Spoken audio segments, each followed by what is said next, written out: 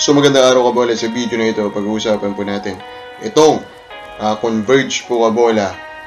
Basically yung trade rumor po nila ano, related nga po. Dito daw sa interest po nila. With sa dating uh, superstar po ng Netran na dating player po ni Coach Aldin Ayo na ito nga pong si Quinto.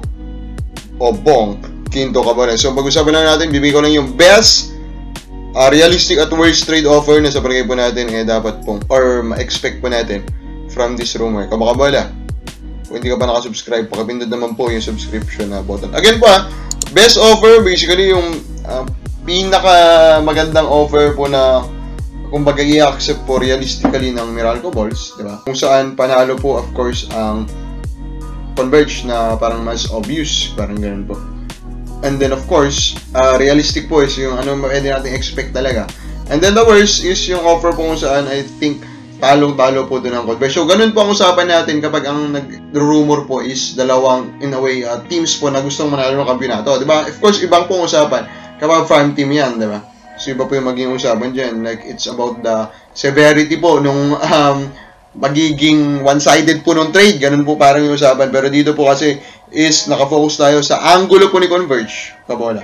So, ang best offer could be na ma-accept po ng Meralco would be Alin Bunanadi and two second round picks.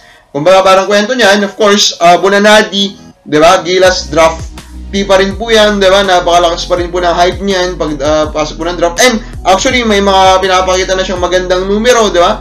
Which coach Aldin Ayo, so parang for Converge, this could be the best na makuha nila kasi in a way naman, impact-wise, parang mas malaki pa rin yung impact ng buong Quinto. And sa nakita natin, mas skilled pa rin siya. Mag-add lang sila ng dalawang second round pick, diba? Kumbaga dun sa difference po ng dalawa. Ito na yung pinakamaganda sa palagay natin na pwedeng maging trade po for uh, Converge po dyan.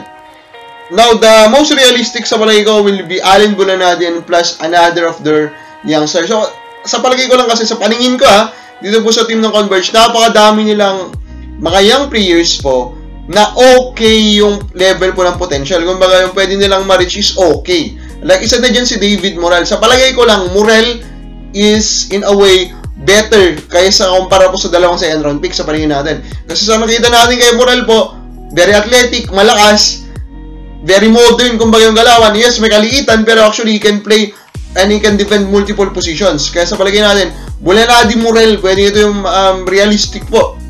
Naibigay po na package ng Converge to get po itong si uh, Bong Quinto.